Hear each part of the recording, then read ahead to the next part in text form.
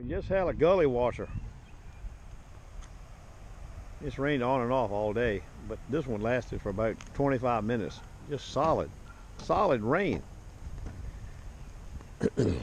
Mumbles man went to the Land of Nada yesterday, and he gave everybody down there to Mumbles. I'm glad I was working. He's back to the chain man now. Got him a nice 14K gold chain. I'll put the pictures of it in the back of this video so you can see it. This is a nice ticket. I thought he went today, but so far I ain't got a report, so I got a feeling he hadn't. He didn't go. Ten or fifteen years ago, maybe twenty years ago, I don't know. Before Anderson made aluminum shafts like this one, they can they also make carbon fiber ones like this. This is what I use now for my X-Cal, carbon fiber shaft. Anderson in Canada. this is aluminum one, like I said. This is just a spare. But before all those times, we would go to here we have a place called West Marine, sells marine supplies. We would buy aluminum boat tubing, the same exact size as these guys make the shafts out of. And I can tell you that in a minute because this still has a sticker on it. And it's 10 years old. There it is. Aluminum tubing 7 8 OD. 0.05 wall. And when we first started buying them, they were $9. Then they went up to 12. Then they went up to 18. it's uh, six foot long. I got no clue what it would cost today. Then we would buy arm cups. This particular one right here is a Detector Pro, all stainless steel, two piece. And I put a rubber thing inside of it. This is what it looks like when it's new. It's nice, nice arm cups right here, but they're a little pricey, but they're really nice. This is an Anderson front grip, comes with the shaft. This is a one off a GT, Minelab GT Sovereign that I never did use. I just bought it for a spare when I was making shafts. we all use bicycle grips like you see here. I use them on my sharpeners now to pick them up with and carry them around. That's what we use for grips on the front and we put a rubber thing on them make it feel good, you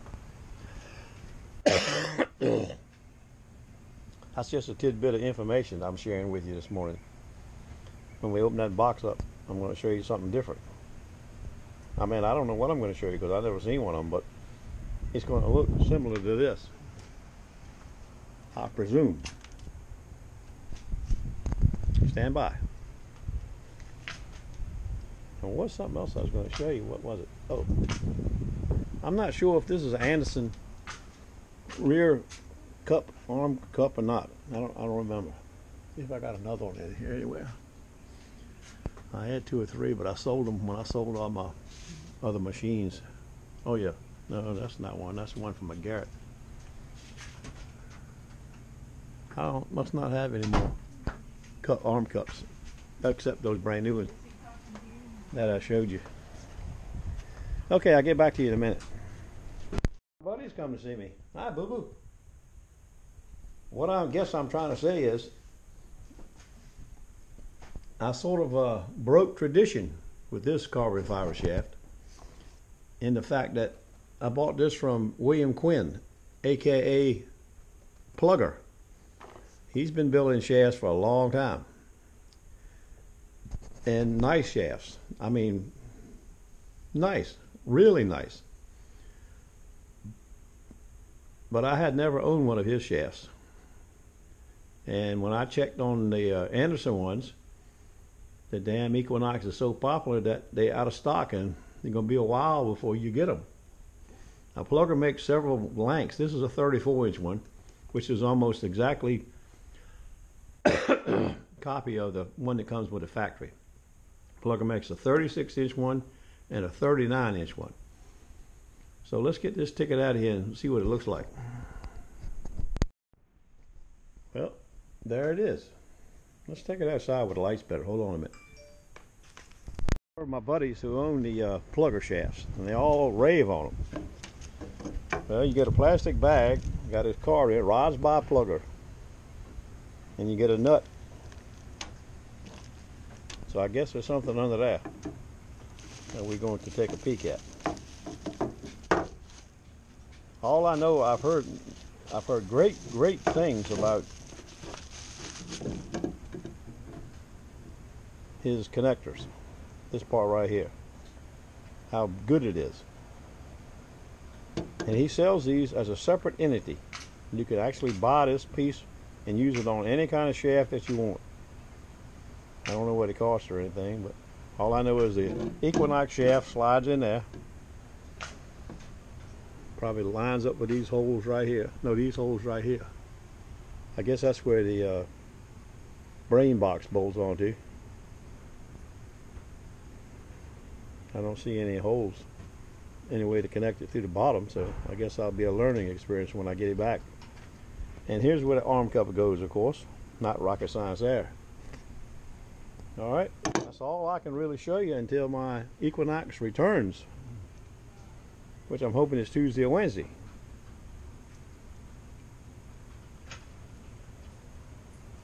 I'll have to put this aside and make sure there's nothing in this little taquito here like I said, this is a 34 inch model. All right, I'll get back to you in a couple days on this. But I'm going to finish the video up now. When it comes in, I'll put it together and we'll take another look at it. Timer's got me for a minute. I forgot I have my uh, coil and my arm cup. So I stuck that on here. All I got to do is figure out how the box goes on here, control box, through those holes right there. I don't have the other one because it was connected to the control box when I sent it off. That's all we wanted was the upper part of the Equinox. So uh, I maybe I couldn't be I got this piece upside down. But anyway, this tightens onto the carbon fiber. This loosens and goes in and out and tightens up around the shaft itself. That's a—they'd say that's a hell of a rig right now. I like it already. I like it already a lot. Anyway, we can hang this up and be done with this for a few days. Now I'll get back to you. Okay, there's a Mumbles Man nut from yesterday morning.